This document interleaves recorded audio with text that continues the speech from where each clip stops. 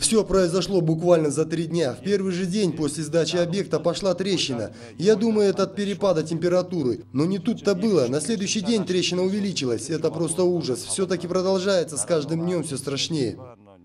В здании детского сада номер 60 лестница запасного выхода рассыпается. Стены дошкольного учреждения потрескались, а с крыши из-за отсутствия желоба дождевая вода стекает прямо по стенам детского сада. Не лучшим образом выглядит и внутренняя отделка садика. мынаның барлығы подрядчиктің біздегі анау Это все из-за безответственности руководства строительной компании. Мы неоднократно пытались связаться с ними, но не смогли даже офис их найти. Исчезли как будто. барлық несіне Не лучшим образом обстоят дела в школе номер 85. Спортивный зал, классные кабинеты и библиотека сегодня несут угрозу для учеников и педагогов. Уставшие писать в различные инстанции учителя и руководство школы не знают, в какую дверь теперь стучать. Никому до нас нет дела, возмущается директор.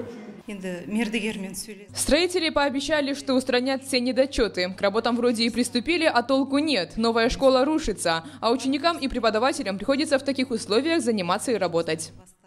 В таком же плачевном состоянии находится школа номер 36 и 111, а на месте аварийной многоэтажки по улице Узбекская в районе Старого города строительная компания и вовсе построила новое аварийное общежитие. Об этом было заявлено на заседании көшесі В общежитии по улице Узбекская, номер 40, протекла крыша, потрескалась штукатурка. Здание, построенное для размещения жителей аварийных домов, само стало аварийным.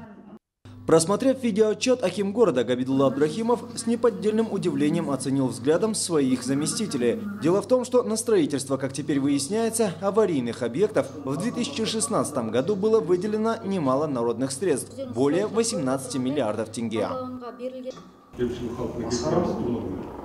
Что это такое? Немедленно отдать распоряжение строительным компаниям, чтобы они устранили все недочеты за свой счет. Это немыслимо, возмутительно. Градоначальник высказал предложение лично встретиться с руководителями строительных компаний, которые так по-преступному отнеслись к растрате бюджетных денег.